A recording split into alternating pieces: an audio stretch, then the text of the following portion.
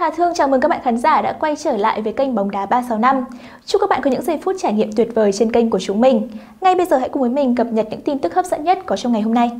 Bản tin thể thao của chúng tôi ngày hôm nay gồm có thông tin đáng chú ý sau đây. Sau 4 năm đãi cát, huấn luyện viên Park Hang-seo đã tìm được thanh gươm vàng cho Việt Nam. Thưa quý vị, với Tiến Linh, huấn luyện viên Park Hang-seo đang có một tiền đạo số 9 chuẩn mực cho đội tuyển Việt Nam chinh phục các giải đấu quốc tế lớn. Trên thêm vòng loại thứ hai World Cup 2022 tại bảng G khu vực châu Á được tổ chức thi đấu tập trung tại UAE, người hâm mộ Việt Nam vẫn lo về một hàng công với những thanh kiếm cùn như Công Phượng, Tiến Linh, Văn Toàn, Đức Trinh có đủ sức làm nên chuyện. Thế nhưng sau gần 20 ngày trên đất UAE, với cột mốc đáng nhớ, đội tuyển Việt Nam gặt hái được, người ta bắt đầu thôi bàn tán về vị trí được xem là bài toán cực khó, không riêng gì của ông thầy người Hàn. Ba trận vừa qua, không phải Công Phượng, Văn Toàn hay Quang Hải mà đích xác Tiến Linh mới là chân sút bùng nổ nhất của những chiến binh sao vàng. Với 3 bàn thắng, đạt hiệu suất một bàn một trận trước những đối thủ khó chịu và đá rắn như Malaysia hay ông kẹ UAE. Không chỉ có thế, nếu quan sát các bàn thắng mà tiền đạo sinh năm 97 này ghi được, người hâm mộ có thể dễ dàng nhận ra những phẩm chất của sát thủ thực thụ nơi vòng cấm, chọn vị trí, tì đè, bứt tốc, dứt điểm gọn ghẽ, đã quá lâu rồi, bóng đá Việt Nam mới lại sở hữu một chân sút bén và mắn bàn như vậy. Ngược trở lại thời điểm huấn luyện viên Park cập bến Việt Nam, những câu hỏi xung quanh bài toán số 9 của tuyển Việt Nam là cơn đau đầu thực sự với ông thầy người Hàn. Tại vòng chung kết U23 châu Á, cái tên được xem là con át chủ bài ở vị trí trung phong trong đội hình U23 Việt Nam đó là Hà Đức Trinh.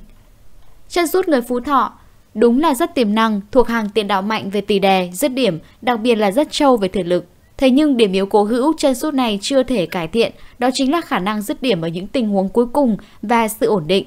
Điều được xem là xương sống đẳng cấp với một cầu thủ chơi vị trí tiền đạo. Tại Asian Cup 2019, sau khi anh Đức nói lời chia tay đội tuyển, Công Phượng khi ấy được đôn lên chơi như một số 9. Với kết quả nào thì hẳn là ai cũng hình dung ra.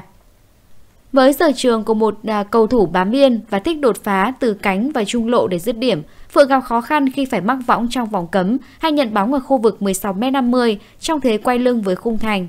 Chỉ đến khi cái tên Tiến Linh được xuất hiện nhiều hơn, có cơ hội ra sân nhiều hơn và trưởng thành trong màu áo câu lạc bộ Bình Dương lẫn trên đội tuyển thì cơn đau đầu của ông Park phần nào được xoa dịu. Trong màu áo Bình Dương, số 22 là chủ công với nhiệm vụ lĩnh sướng trọng trách ghi bàn cho toàn đội. Ở tuyển quốc gia, anh là cái tên duy nhất có thể đá tốt ở vị trí tiền đạo cắm thực thụ, mẫu hàng hiếm trên tuyển lúc này. Sở hữu những phẩm chất thuần túy của một trung phong cắm kiểu Anh Đức, thế nhưng Tiến Linh được đánh giá cao bởi tốc độ và sự tinh quái trong cách di chuyển. Ngoài ra, cách chơi đơn giản, quyết đoán, dứt điểm gọn ghẽ, không màu mè chính là điều khiến huấn luyện viên Park cực ưng cậu học trò này. Đó là mảnh ghép hoàn hảo trong sơ đồ mà vị thuyền trưởng 63 tuổi xây dựng, nhanh, gọn gàng, dứt khoát và tận dụng triệt để từng cơ hội có được. Tiến Linh đã có 5 bàn sau 8 trận tại vòng bảng cho Việt Nam, một hiệu suất tương đối đáng nể. Thứ duy nhất cầu thủ này cần phải chui rèn lúc này chính là duy trì sự ổn định, nâng cấp bộ kỹ năng của mình tới mức hoàn thiện nhất có thể. Số 22 của đoàn quân áo đỏ vẫn còn trẻ và còn nhiều thời gian để hoàn thiện bản thân. Sau 4 năm đã cát mòn mỏi, huấn luyện viên Park tìm thấy một thanh gươm vàng. Giờ là lúc ông dành thời gian để mài cho thanh gươm đó sắc bén hơn, hiệu quả hơn. Tin tiếp theo, Chuyện giờ mới kể, 45 phút căng thẳng tột độ của tuyển Việt Nam trước UAE. Thưa quý vị, tuyển Việt Nam có 45 phút đầu tiên đối đầu với UAE trong tâm thế bị dồn ép từ sân cỏ đến khán đài. Sự tranh lệch về chất lượng cầu thủ làm diễn biến trên sân biến thành một chiều. Có thời điểm tỷ lệ kiểm soát bóng của đội chủ nhà UAE lên đến 75%, Việt Nam không có bóng để chơi, có các phóng viên Việt Nam ngồi theo hướng tấn công của đội nhà, gần như không có tình huống để chụp. Những tình huống ít ỏi được chụp đa số là những lần tuyển thủ Việt Nam bị đối phương chủ động phạm lỗi từ xa, ngăn phản công. Trước sức ép ấy, bàn thua là khó tránh khỏi. Việt Nam thua 0-2 trước khi hiệp 1 kết thúc. 45 phút đầu tiên tại sân Jabil có lẽ là một trong những màn tra tấn đáng sợ nhất mà Việt Nam dưới thời ông Park Hang-seo phải hứng chịu. Nhưng sức ép không chỉ ở trên sân. Trên khán đài, huấn luyện viên Park và nhóm cầu thủ không được đăng ký thi đấu, thỉnh thoảng lại liếc xuống máy tính bảng, điện thoại di động để theo dõi trận Australia-Jordan diễn ra trước đó 45 phút. Nếu Jordan thua, Việt Nam chắc chắn đi tiếp mà không cần quan tâm kết quả đối đầu với UAE. Australia là ông lớn ở sân chơi này, thật khó để thua Jordan, nhưng bóng đá luôn tiềm ẩn biến số khi tiếng còi kết thúc chưa vang lên. Sự căng thẳng xuất hiện trên gương mặt của huấn luyện viên Park. Phút 32, ông ôm đầu sau khi Ali Saman phá vỡ hệ thống phòng thủ của Việt Nam khi ghi bàn mở tỷ số. Công Phượng và nhóm cầu thủ dự bị không giấu được bồn chồn vì không cầm được thiết bị điện tử trong tay. Họ thỉnh thoảng ngoái lại phía sau chờ tín hiệu tốt từ nhóm tuyển thủ không được đăng ký thi đấu, nhưng mà cũng không có. Phút 41, nhóm cầu thủ dự bị từ Việt Nam xuống sân khởi động. Khi thấy phóng viên Việt Nam tác nghiệp, tiền vệ Đức Huy như bắt được vàng. Huy gọi to, anh ơi, tỷ số trận Úc Jordan thế nào rồi? Phóng viên lên mạng tìm rồi đáp vẫn không đều. Văn Toàn hỏi thêm, phút bao nhiêu rồi anh? Phút 73, phóng viên trả lời. Sự lo lắng hiện rõ trên gương mặt nhóm cầu thủ. Họ vừa mới tập dưới sự chỉ đạo huấn luyện viên thể lực Park Sung-gun vừa nhìn đồng đội trên sân chống đỡ đối thủ. Khi tiếng còi kết thúc hiệp 1 của trọng tài An Quesi vang lên là lúc mọi thứ giải tỏa. Nhóm cầu thủ đá chính vừa đi vào phòng thay đồ vừa nghỉ ngơi, nhóm dự bị vào sân làm nóng, chiếc khán đài vang lên tiếng động. Bùi Hoàng Việt Anh, Lý Công Hoàng Anh, Nguyễn Hai Long, Hồ Tấn Tài reo lên ăn mừng khi mà Harry Sosta ghi bàn cho Australia. Hoàng Anh vỗ tay, Hai Long giơ cao tay báo hiệu cho đồng đội phía dưới. Tuấn Anh ngồi ở góc khác cũng tiến tới cập nhật tình hình. Người duy nhất không biểu lộ cảm xúc quá mức là ông Park. Ông ngửa người nhẹ ra phía sau trước khi đứng lên và ra một góc khác không ai thấy. Ở dưới sân, nhóm cầu thủ dự bị nhận được tin, những gương mặt đã giãn ra và là tiền đề cho những đôi chân bớt nặng trĩu trong hiệp 2. Hình ảnh này có thể làm nhớ đến Asian Cup 2019, Việt Nam ăn mừng ở hành lang khách sạn sau khi Lebanon chỉ có chiến thắng 4-1 trước Cộng hòa Dân chủ Nhân dân Triều Tiên. Tỷ số vừa đủ để thầy trò Park Hang-seo vào vòng 1-8 với tư cách một trong bốn đội hạng 3 có thành tích tốt nhất. Sang hiệp 2, tuyển Việt Nam bị ép sân nhưng có 10 phút cuối chơi rất hay, để rồi Tiến Linh Minh Vương lần lượt ghi bàn. Tỷ số 2-3 không đại diện diễn biến trên sân nhưng thể hiện tinh thần chiến đấu tới cùng của toàn đội. Còn thở là còn gỡ, từ Việt Nam nhận được nhiều tình cảm vì tinh thần ấy và sự tôn trọng từ đội chủ nhà UAE. Tin tiếp theo, vòng loại cuối cùng World Cup 2022, bước đệm cho World Cup 2026. Thưa quý vị, kể từ World Cup 2026, Liên đoàn bóng đá thế giới FIFA quyết định sẽ tăng số đội tham dự từ 32 đội lên 48 đội. Trong đó châu Á được tăng thêm 3,5 suất, từ 4,5 lên thành 8 đội.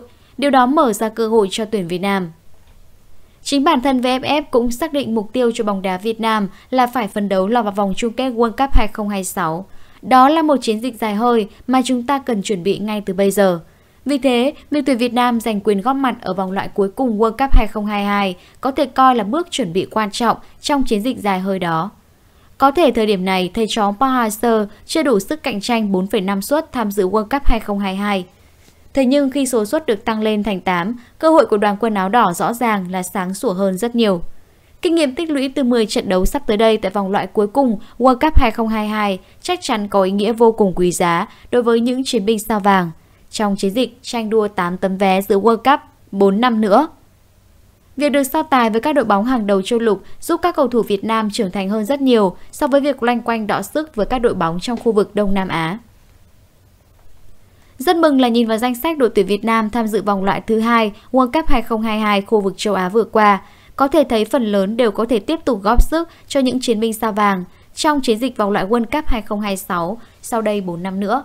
Chỉ có một vài gương mặt đã ngoài 30 tuổi khó có thể còn đủ sức sát cánh cùng đồng đội trong chiến dịch sắp tới như thủ môn Bùi Tấn Trường hiện 35 tuổi hay hậu vệ Nguyễn Trọng Hoàng hiện 32 tuổi. Thế nhưng với những cầu thủ còn lại, phần lớn trong độ tuổi 24 đến 27 cùng sự bổ sung những nhân tài thuộc thế hệ 2K. Nếu có lộ trình phát triển đúng đắn trong 5 năm tới đây, tiếp tục được dẫn dắt bởi huấn luyện viên Park Hang-seo, Việt Nam hoàn toàn có thể nghĩ tới việc chiến đấu một cách song phẳng với đội bóng mạnh khác của châu lục để giành một trong 8 vé tham dự World Cup 2026. Có thể nói rằng vòng loại cuối cùng World Cup 2022 chính là bước đệm để bóng đá Việt Nam dậm nhảy vào vòng chung kết World Cup 2026. Tin tiếp theo, báo Trung Quốc, cơ hội để đòi nợ Việt Nam đã đến. Thưa quý vị và các bạn, truyền thông Trung Quốc nhận định vòng loại thứ ba World Cup 2022 sẽ là cơ hội để đội nhà đánh bại tuyển Việt Nam, trước khi khó làm được điều này trong tương lai. Đội tuyển Việt Nam góp mặt trong top 12 đội mạnh nhất tham dự vòng loại thứ ba World Cup 2022 khu vực châu Á. Thầy trò Park Hang-seo đối mặt với thử thách khó khăn trước các ông lớn châu lục như Nhật Bản, Hàn Quốc, Iran, Australia. Trái lại, đội bóng láng giềng Trung Quốc rất muốn được chạm trán đội tuyển Việt Nam ở chiến dịch sắp tới đây. Mới đây, báo giới xứ đại lục nhận định vòng loại thứ ba World Cup 2022 là cơ hội đòi lại món nợ trước những chiến binh sao vàng, trước khi khó làm được điều này trong tương lai. Trang Sport cho rằng Việt Nam là một trong hai đội có thứ hạng thấp nhất ở top 12 và đặc biệt các đội trẻ Việt Nam từng có ân oán khi thắng các đội trẻ Trung Quốc nên họ muốn gặp mặt để đòi nợ. Tờ Suhu mong muốn Trung Quốc gặp được Việt Nam khi viết nhiều người mong rằng đội tuyển quốc gia có trận đấu với Việt Nam trong top 12.